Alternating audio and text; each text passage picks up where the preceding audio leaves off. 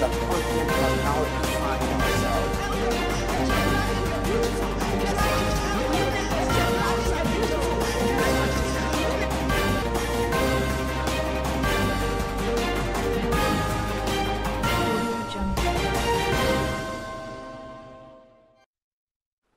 In the news, Governing Council of OAU dismissed another lecturer over sexual harassment.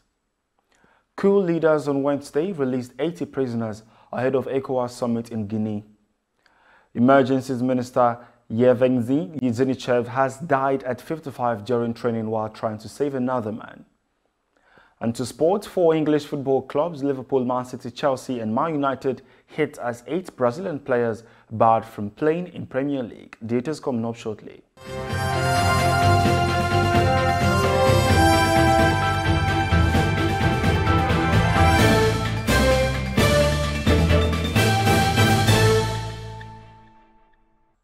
This is TOS Television, your digital first Pan-African news network. I am Merciful Ajinamo, and you're watching TOS News 360.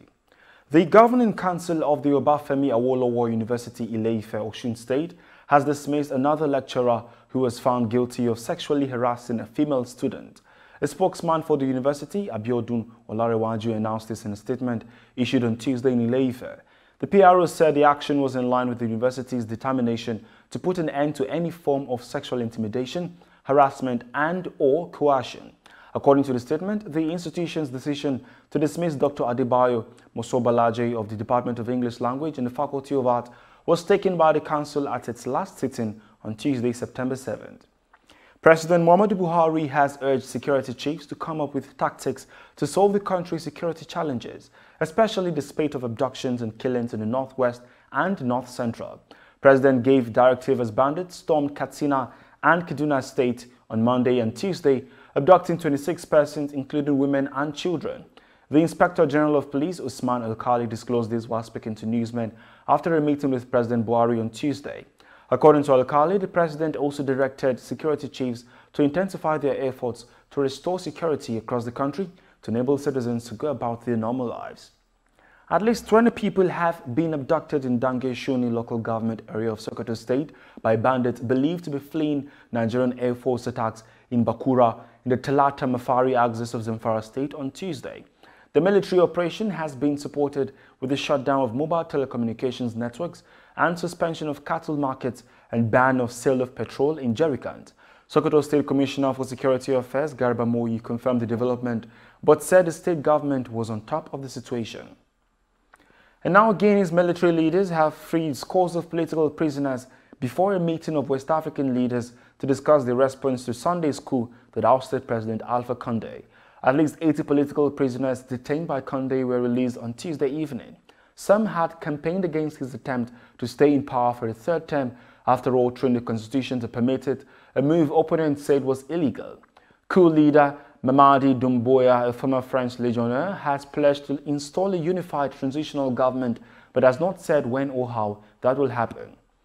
Sudan Foreign Ministry in a statement on Tuesday summoned Ethiopia's ambassador to Khartoum after 29 bodies were found between July 26 and August 8 on the Sudanese side of the Setit riverbank known in Ethiopia as the Tekeze. The ministry said the bodies had been identified as Ethiopians from the Tigray ethnic group by Ethiopians residing in the Wad Wadal Hilawai area of eastern Sudan. The river runs along Ethiopia's border with Eritrea before crossing into Sudan at the point where the three countries meet.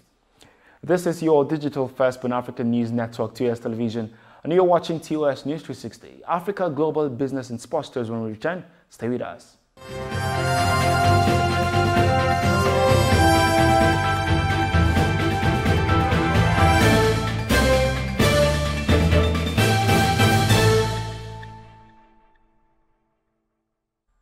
Thank you for staying. The International Monetary Fund's Executive Board, in a statement on Tuesday, approved $567 million in emergency support for Tanzania to help finance the COVID-19 vaccination campaign and meet the health and social cost of the pandemic. The new funding will allow Tanzanian officials to address the urgent health, humanitarian and economic cost of the pandemic, the IMF said. It will also help Tanzanian officials mobilize additional support from development partners, it said. Tanzania plans to borrow almost 10.8 trillion shillings, about half of which the authorities seek to raise from external sources. Russian Emergencies Minister Yevgeny Zinichev, aged 55, who was in the Arctic to oversee large-scale drills and visited the construction site of a new fire station in Norilsk, as well as a search and rescue team in the area, reportedly died during training exercises in the Arctic city of Norilsk on Wednesday while attempting to save a person's life. Margarita Simonyan, chief editor of the state-funded RT news broadcaster, said Zinichev died while rescuing a cameraman who slipped and fell into the water. There were plenty of witnesses, but no one even had time to figure out what happened. Zinichev jumped into the water after the falling man and landed on the protruding stone, Simeon tweeted. Zinichev had headed the Emergency Situations Ministry since 2018. And now to Palestine, where members of the Palestinian Islamic Jihad group have vowed to fight Israeli forces if they enter the Jenin refugee camp in search of the six Palestinian prisoners who escaped from the high-security Israeli prison. TOS News had reported on Monday how six Palestinians escaped from one of the most secured Israeli jails on Monday through a tunnel. Early on Wednesday, Israeli soldiers with dogs called gaps in Israel's separation wall near the Palestinian town of Ya'abad near Jenin, while reconnaissance aircraft flew above. Talking business, a momentary setback on Tuesday hit crypto market, which resulted in some of the most popular digital assets registering double-digit losses until staging a mini recovery. As at last check, Market Watch showed that Bitcoin was changing hands $46,964.65, down 9.1%, but had sunk to an intra-session 24-hour nadir at $42,921.27 on CoinDesk. Ethereum, the number two largest crypto by market value, was down 12%, but had hit a low at $3,036.30. Now to sport, Premier League teams including Liverpool, Chelsea, Manchester City and Manchester United will be without a host of star players this weekend after the row between English clubs and the Brazilian Football Association escalated dramatically. The clubs were informed that the controversial five-day rule will be imposed by the Brazilian FA, who are angry that players were withdrawn from the latest round of World Cup qualifiers. That would prevent eight players from five clubs from featuring in this round of domestic fixtures, although it has emerged that Everton forward Richarlison will be allowed to play this weekend due to the Toffee's strong relationship with the Brazilian Federation. Richarlison was allowed to play for Brazil in the Olympic Games in Beijing earlier this summer. Liverpool trail Alisson Becker, Fabinho and Roberto Firmino are all impacted and will be ruled out of the red strip to Leeds on Sunday. Leeds winger Raphinha will also miss the game at Elland Road.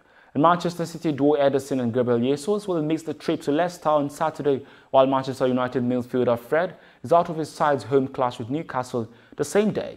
Fred will also march to the Red Devils' annoyance, set out the opening Champions League group clash away to Young Boys next Tuesday. And that is TOS News 360 on your digital first Pan-African news network. For more updates, visit www.tostvnetwork.com. Follow and like our social media handles on Facebook, Twitter and Instagram. And remember to subscribe on YouTube. Do stay with us and enjoy more programs on TOS Television Network. I am Merciful Ajinamo. Many thanks for watching.